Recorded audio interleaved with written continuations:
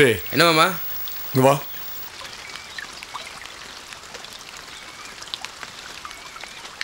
என்னப்பா நீ? இருக்கிற பிரச்சனை போதாதுன்னு. ஏன்பா இப்படி சின்னத்தனமா நடந்துக்கிற? நானே அர்ஜுனை பறி கொடுத்துட்டு நொந்து போய் உட்காந்துருக்கேன் உனக்கே தெரியும்ல? நம்ம ஆளுங்களையும் பல பேரை இழந்துட்டோம். மிச்சம் மீதி இருக்கிற உங்களாலையும் பிரச்சனைனா நல்லாவா இருக்கும்? அதுவும் பொம்பளைக்காக போய் அடிச்சு நிக்கிறீங்களாடா? ஏதோ ஒரு பொம்பளைக்கா அடிச்சுக்கல. என் பொண்டாட்டியே கை பிடிச்சி இழுத்துருக்கானா? இதுக்கு மேல இவனை நம்ம கூட்டத்துல வச்சிருக்கணுமா? அவனை ஏன்டா போறீங்க நீ தப்பு தான்டா நிறைய செய்யணும் எனக்கு ஏற்கனவே தெரியும். கோயந்த அடிக்கடி சொல்லிட்டு இருப்பான். சரி வயசு பையன் அப்படி இப்படி இருக்க தான் செய்வான்னு விட்டேன். அது இப்ப தப்பா போச்சு. இப்ப அடிமடியிலே கை வைக்க ஆரம்பிச்சிருக்க. ஏய் உனக்காக இப்ப நான் அவனுக்கு பதில் சொல்ற மாதிரி அடிச்சு பாடுறா. அண்ணா நீ பேசுறது எனக்கு பிடிக்கலண்ணா. தப்பு செஞ்சு விட்ட நீ எதுக்கு நான் கஞ்சிட்டு இருக்க? உன்னை அவன் எங்க இருக்கணும் இல்ல நான் இங்க இருக்கணும்? அவ்வளவுதான். ஏய் நான் எதுக்குடா போனோம்? நான் எதுக்கு போனோம்? ஏய் என்னடா பேச அடிச்சு பல்லாங்களா ஓடிச்சுடும் ராஸ்கல் வாய திறக்கூடாது வாடவா இங்க பாரு மாமா. எல்லாத்துக்கும் உனக்கு பயந்துட்டு இருக்க முடியாது. உன் கூட அலங்காட்டில் இருக்கிறதுனால எங்களுக்கு என்ன இருக்கு? எங்களுக்கு ஆசை இருக்காதா? வயசானவங்களாலே சும்மா இருக்க முடியல. யாரிட வயசானவங்க யாரு வயசானவங்க இப்ப என்னடா சொல்ற? என் விஷயத்துல யாரும் தலையிடாதீங்க. அடிக்க திமிரு முடிச்ச நாதாரு. துப்பாக்கில இப்ப அவனை சுட்டு போட்டுருவான். கூட இருந்துட்டேன்னு பாக்குறேன் நானு. சுடுவியா? சுடியா பார்க்கலாம். சுடு சுடு சுடு. என்கிட்டயும் துப்பாக்கி தான் இருக்கு. பாத்திரலாம் சுடு.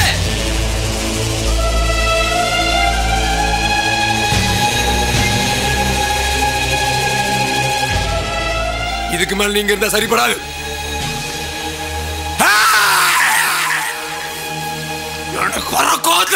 நானே சுட்டு போட்டுருவேன். போயிடு. போயிடு. போடா. வைந்தா போ சொல்லு. வைந்தா அவனை போ சொல்றா. ஏய் ஏய் போடா போ. தாளவாடி பக்கம் போயிரு. அட்டத்தை குறைச்சிக்க. இல்லனா அழிஞ்சு போயிடுவேன். உனக்கு சோறுட்டி வளர்த்த வீரப்ப சொல்றேன்டா. போ அழிஞ்சு போயிடுவேன். போ போ அட்டத்தை குறைச்சிக்க.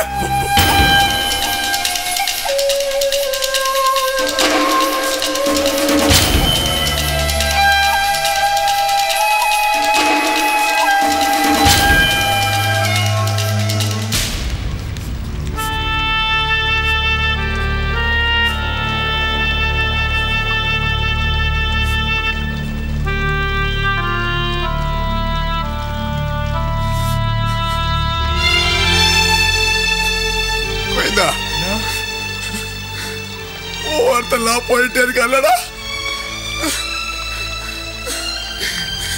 என்னை விட்டு ஒவ்வொருத்தெல்லாம் போயிட்டே இருக்கல்லடா நியாயமா போறணும் போறா. தப்பு செஞ்சுட்டு போறணும் போறா.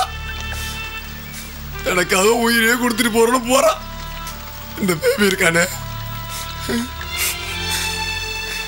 கரியா போட்டு ஊட்டி ஊட்டி வளர்த்தண்டா பேபி பேபின்னு என்கிட்ட துப்பாக்கி இருக்குன்னு சொல்லிட்டு போறான்டா. ஏய், வளர்த்த கடா மாறல பயதுரா இப்ப இவனு போயிட்டானா? போகடா. சீ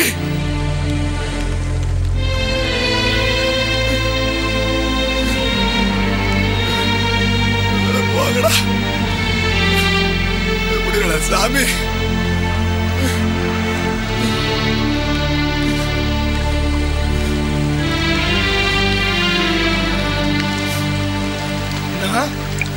அண்ணா நான் இருக்குன்னு உசுரை கொடுக்கறக்கு கடைசி வரைக்கும் நான் இருப்பேன்னு உங்க கூட. நீ என்ன கவலைப்படுற? எனக்கு அது போதுண்டா கோயந்தா அது போதுண்டா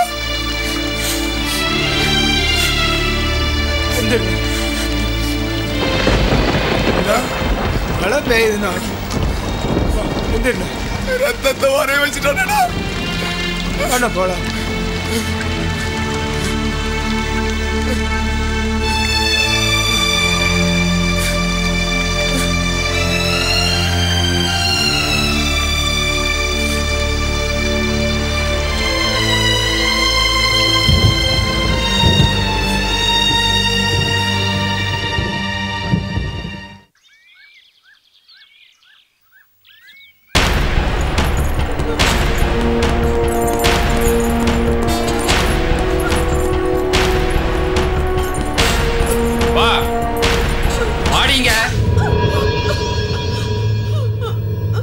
சின்ன பொண்ணா?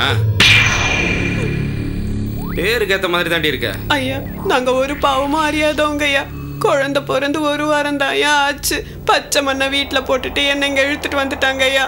புள்ள யாருக்கு பிறந்துச்சு? ஐயா. ஏய் வாய மூடுறாங்கறல ஏய் உன் புருஷன் தான் எப்பவும் வீரப்பன் கூடவே இருந்திருக்கானே. நீ எப்படி பிள்ளை பத்த? ஐயா. ஏய் வாய மூடுறா. பேசக்கூடாதுன்னு சொல்றல ஏய் சொல்றி. உன் புருஷன் அங்க போனவன வேற வேணா உள்ள புந்தானா ஐயா. பேசாரா ஐயா நான் வீரப்பனை பார்த்ததே இல்லைங்க ஐயா. பார்த்ததே இல்லையா?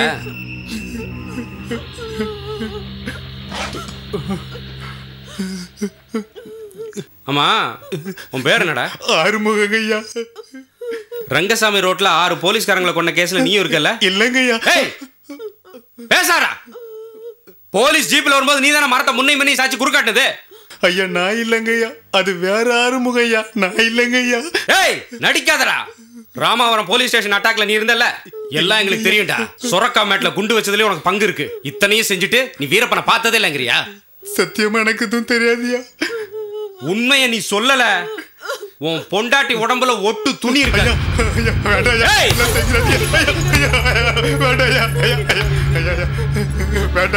அப்படிலாம் எதுவும் செஞ்சிடாதீங்க ஐயா. ஐயா எடுத்து கும்பிடுற ஐயா. விட்டுருங்க ஐயா. ஏய் உண்மையை சொல்றியாப்ப சத்தியமா எனக்கு அதெல்லாம் ஒண்ணுமே தெரியாதுங்க ஐயா.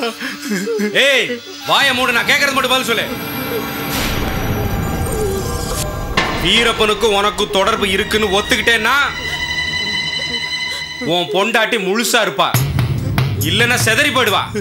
நான் சொல்றதை நம்புங்க ஐயா சத்தியமா நான் வீரப்பனை பார்த்ததே இல்லைங்க ஐயா இவன் தேற மாட்டான் யோ பச்சை மிளகா அரைச்சு வச்சிருக்கல எடுத்துட்டு வாயா ஐயா எதுக்குயா பச்சை மிளகா? சொல்றேன். பச்சை மிளகா வரட்டும். இந்தாயா இது புடி. இவன் பொண்டாட்டி சேலைய உருவி உடம்புல ஒரு இடம் விடாம. எல்லா இடத்துலயும் தடவுங்கயா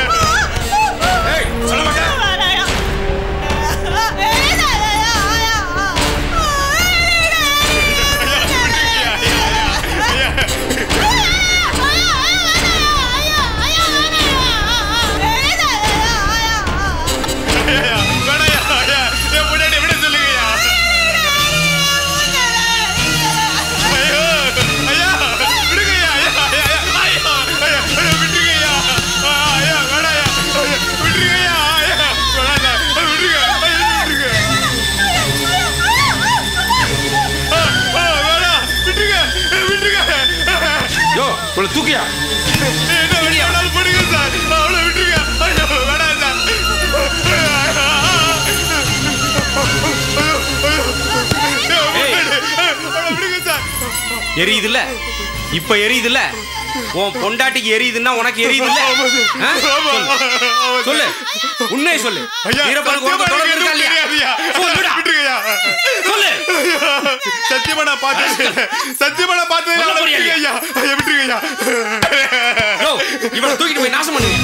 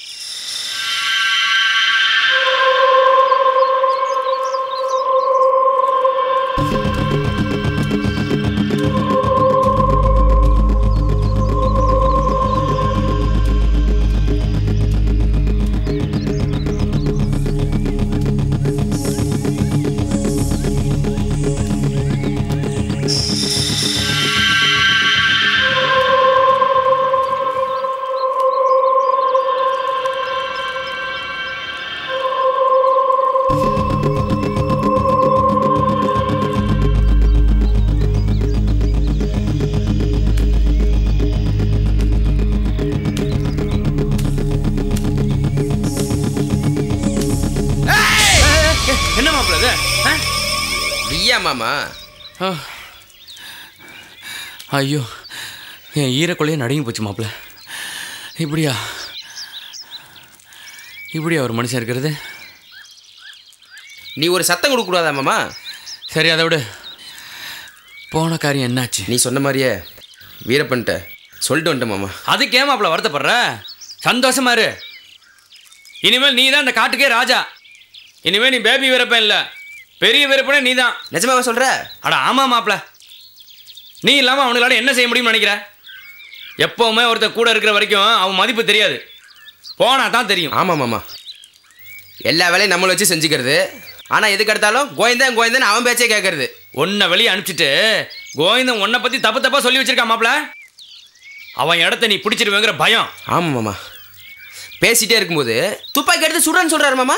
நீ என்ன பண்ண? எனக்கும் கோவம் வந்துருச்சு மாமா. ஆ. நானும் தான் சுடுவேன்னு சொல்லிட்டு வந்திருக்கேன். பின்ன? இத்தனை வருஷம் கூட இருந்துட்டோமேனு பொறுமையாக வந்துட்டேன். அதுதான் என் மேலே தப்பு. நான் எவ்வளோ வச்சிருந்தா இவங்களுக்கு என்ன மாமா? அவளுக்கு என்ன பிடிச்சிருக்கு? அதனால புருஷனை விட்டு வரா. இவங்களுக்கு என்ன? இதுக்கு ஒரு பஞ்சாயத்து. இதுக்கு அவர் எனக்கு அறிவுரை வேற சொல்றாரு. மாப்பிள அவனுங்களை விடு மாப்பிள. உனக்குன்னு ஆளுங்க இருக்கிறாங்க. அவங்கள வச்சுக்கிட்டு நீ தனி ராஜ்யமே நடத்தலாம். கூட நான் இருக்கேன் மாப்பிள. நிஜமா மாமா?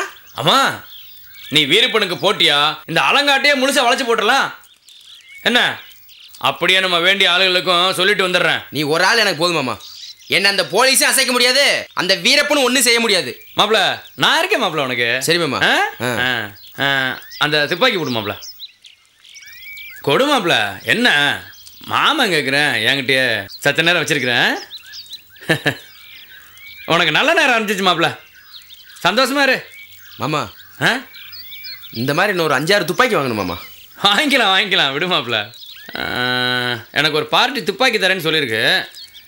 அஞ்சாறு என்ன? பத்து பதினஞ்சு கூட வாங்கிக்கலாம். என்ன? சரி. அதென்ன மாப்பிள கஞ்சி தண்ணியா? டீ தண்ணி போடுறேன் மாமா. அப்படியா? போடு போடு சீக்கிரம் போடு.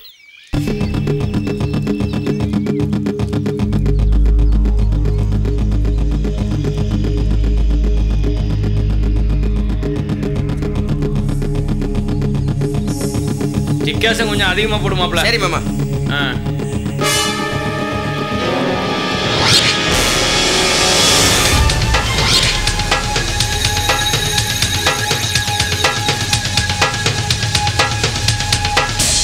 ஒரு பெஜலிட்டிங்க பேர் தேவராஜன் சொல்லிங்க.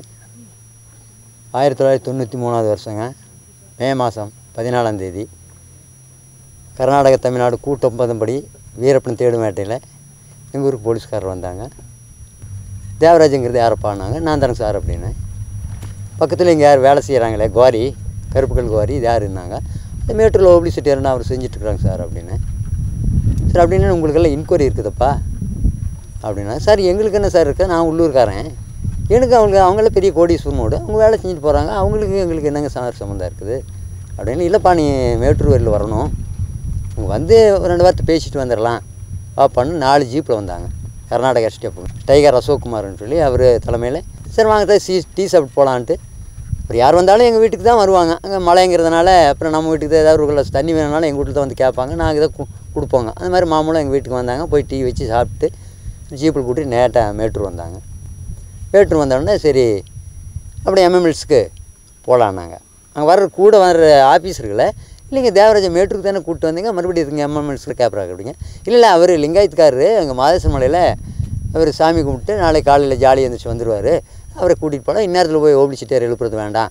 அப்படின்னு நேரம் மாதம் கூட்டிகிட்டு போனாங்க. ஒர்க் ஷாப்புனாங்க ஒர்க் ஷாப்புனா இந்த லாரி பஸ்ஸுக்கு ஏதாவது ஒர்க் ஷாப் வேணுமான்ட்டு ஒர்க் ஷாப் கூட அவங்க படுக்க வச்சுருந்து காலையில் அனுப்பிச்சிடுவாங்க சாமி கும்பிட்டுட்டு போகலான்ட்டு நான் அங்கே போனேங்க. அங்கே போன உடனே பெரிய பெரிய பீரா பொட்டியும் அது லாட்டி இந்த மாதிரி உருளை இது எல்லாமே அங்கே இருந்தது. அங்கே போனோடனே ஏ நாம் ஏமாத்து போயிட்டோம். ஏதோ ஒரு சதி திட்டத்தை நம்மளை கூப்பிட்டு வந்திருக்கிறாங்க. அப்படின்னு சொல்லிட்டு போய் அங்கே நின்ன உடனே அப்புறம் கன்னடத்தில் சொன்னாங்க இவன் போலி மகனை எல்லாம் விட்டப் அப்படின்னாங்க. கன்னடத்தில் போலி மகனை என்ன தாய் மகாங்கிறது? அப்படின்னு உடனே பட பட படன்னு அப்படியே விற்றாங்க பூரா அண்ணாங்கவுலேருந்து செடியிலேருந்து கம்ப்ளைண்ட்டை கீழே கம்ப்ளைண்ட்டாக அவுத்துட்டாங்க.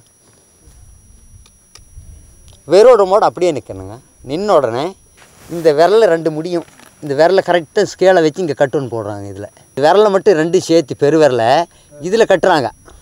கட்டிட்டு இந்த கையங்க இப்படி பின்னாடி திருப்பி இந்த பெருவிரல ஒரு கட்டை போட்டு இந்த மணிக்கட்டில் ஒரு கையை கட்டை போட்டு உருளையில் அப்படியே பின்னாடி இப்படியே தூக்கிட்டானுங்க மேலே. இந்த ரெண்டு ஸ்பூனும் அப்படியே இந்த முன்னாடி அப்படியே உயிரே போன மாதிரி வந்துடுங்க வந்த உடனே உயிர் நிலையிலும் ஒரு கிளைப்பு மார்பிள் ஒரு கிளைப்பு. போட்டு மக்கர் பாசில் அப்படி போட்டு அழுத்து அழுத்துன்னு அழுத்துறான். அழுத்தினோன்னா ஐயோ ஐயோ ஐயோ ஐயோ ஐயோ ஐயோ இன்னும் சத்தம் ஏகப்பட்ட சத்தம் போ போட்ட உடனே ஒரு வாளியில் தண்ணி எடுத்து மேலே சலாரன் அடிக்கிறான் அடித்த உடனே மூஞ்சி கிஞ்சி எல்லாம் அடிக்குது. அடித்த உடனே ஒரு மயிறு வந்து இப்படி தொட்டு பார்க்குறாங்க. மக்கர் பாஸ் அழுத்திக்கிட்டே இருக்கிறான். அவனுக்கு அந்த ஷேக் அடிச்சதுன்னா அப்போ அவனுக்கு சொல்கிறான் ஆ இப்போ அடிச்சுட்டு அடிங்காங்கிறான். என்னடா என்னென்னடா வீரப்பன் கொடுத்தீங்க? பக்கத்தில் வேலை செஞ்சுட்டு இருந்தாலும் லோபடி செட்டியார் அவன் என்ன கொடுத்தா? நீங்கள் என்ன கொடுத்த? மரியாதையோட சொல்லு. சொல்லன்னா உன்னை என்ன சுட்டு கொடுறது தான் அப்படி ஒரு எட்டு நாள். எட்டு நாள் முடிச்சு எட்டாவது நாள் அதே ஒர்க்கு இப்படியே பண்ணிகிட்டு இருக்கா? அப்புறம் என் தம்பிங்க. தம்பி அண்ணனை இங்கே கூட்டிகிட்டு போனவங்களை காணுமேன்ட்டு அவன் மேட்டூர் வந்து விசாரிச்சிருக்கிறான். மேட்டூர் விசாரிச்சுட்டு சரி அவன் எம்எம்என்ஸிலுக்கு இருக்கு அப்படிங்க தெரியலன்னு சொல்லிட்டு எம்எம்என்ஸுக்கு அங்கேயே நேராக வந்திருக்கிறான். வந்தவொடனே அவனுக்கு பிடிச்சி உட்கார வச்சுட்டாங்க. அவனை உட்கார வச்சு நாளே நாளில் அவனை ஜெயிலுக்கு அனுப்பிச்சிட்டாங்க. நாற்பத்தி எட்டு நாள் நான் அந்த ஒர்க் ஷாப்பில் இருக்கேனுங்க. நாலு பேர் என் கூட இருந்த ஆளுகள் செயின் போட்டு கருப்பு துணியில் கண்ணை கட்டி இப்படி செவுத்தில் இப்படி முட்டை வச்சு தூக்குவாங்க. பின்னாடி யார் இருக்கிறா என்ன ஆகுது இது பகலா இருட்டா அதெல்லாம் ஒன்றும் தெரியாதுங்க. அப்புறம் நேராக ஒர்க் ஷாப் ரூமுக்கு நாலு நாளைக்கு மூணு நாளைக்கு என்னை கூட்டிகிட்டு போவாங்க. லேடிஸ்களை கொண்டு போய் மேலே நம்மளை எப்படி கட்டினாங்களோ அதே மாதிரி கட்டி மேலே தூக்கிட்டு ஒரு கொக்கி மாதிரி வச்சுருப்பானுங்க. அப்படி பிடிச்சி அப்படி கிழிச்சாங்கன்னா அந்த பாவாடை டர்னு ஓப்பன் ஆகிரும். ஓப்பன் ஆன உடனே டேயும்பாங்க நம்மளை அன்னவரில் கை கண்ணை கட்டி எடுத்துருப்பாங்க அங்கே போய் தான் அந்த கருப்பு துணி அவுத்து விட்டு போய் இந்த உடல் உறுப்பில். என் பெத்த தாயானையை சொல்கிறேன் உயிர் நிலையிலும் அந்த உடல் உறுப்புற ஒரு கிளிப்பும் மார்பில் ஒரு கிளிப்பும் கொடுத்துட்டு போய் நம்ம உட்காந்துக்கணும். அவன் அடி அடி அடி அடின்னு மக்ஸ் பஸ் அடிச்சுக்கிட்டே இருப்பான். தண்ணி ஒரு ஆள் அப்படியே இந்த சொம்பில் அடிச்சுக்கிட்டே இருப்பான். அடிச்சு அடித்து போன உடனே இவ்வளோ ரப்பர் இருக்குங்க. அந்த ரப்பரில் ஆணிகள் சின்ன ஆணிகள் குத்திருக்கு. அப்படி அடிச்ச உடனே சதுக்குன்னு ஒரு அழி அடிப்பான். இந்த பெட்டாசில் பொம்பளைகளுக்கு. அப்படியே செவுத்துல போய் ரத்தம் சிறுன்னு அடிக்கும். இப்போ அங்கே போய் அனுபவிச்சு பொம்பளைகள் எல்லாத்தையும் அந்த சம்பவம் நடந்திருக்குங்க. என் தாயானையாக சொல்கிறேன் என் பெத்த தாயானையாக சொல்கிறேன் அத்தனை கொடுமையான ஒரு சித்திரவதமில் பண்ணியிருக்காங்க.